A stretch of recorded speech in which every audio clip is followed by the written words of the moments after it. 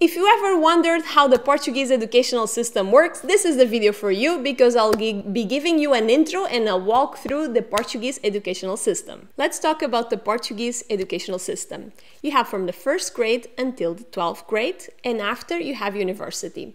Before the first grade, what you have is from infant until two years, we call that infantario and creche, that can be public or private.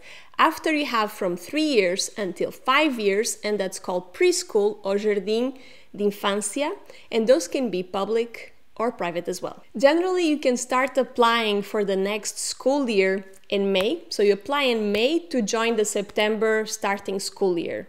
Let's talk about basic education, which starts from the first grade until the ninth grade.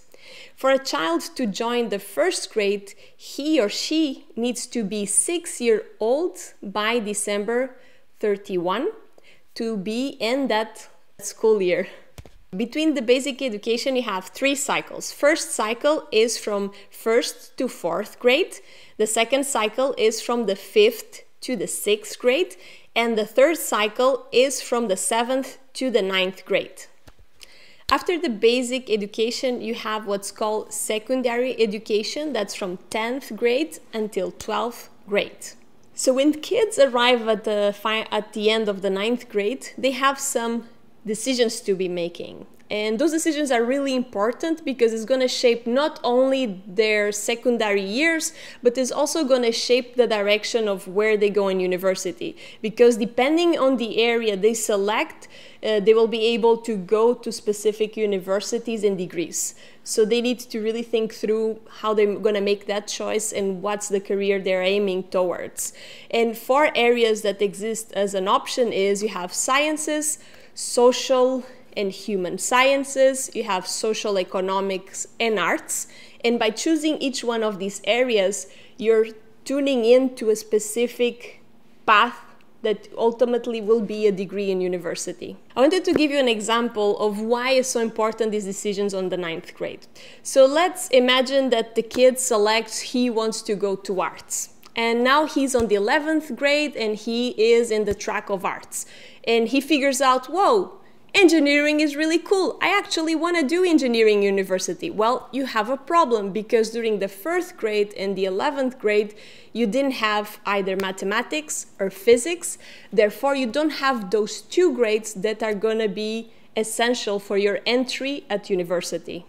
So the school calendar year has three terms. The first term is from September all the way to December.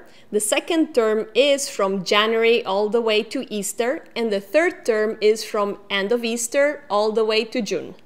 Let's talk about national exams. On the ninth grade, you do a national exam to let you pass to the 10th grade. And on the 11th and 12th grade, you do national exams that will help you qualify on your entry at university. As an example of the 12th grade exams, national exams, it's going to be the key subjects like Portuguese, English, mathematics, physics, chemic, biology. If you're getting value out of this video, don't forget to hit that like button because it's free for you and makes a huge difference to our family channel. Thank you. So entry for university.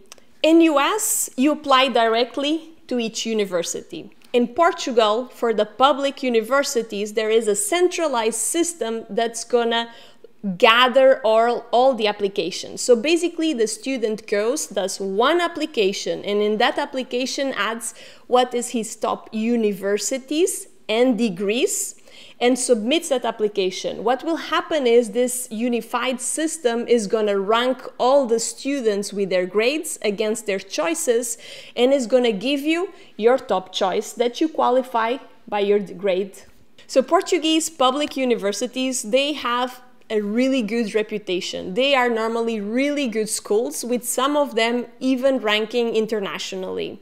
They are also extremely affordable when you compare with US prices of university, and some of them even have classes in English.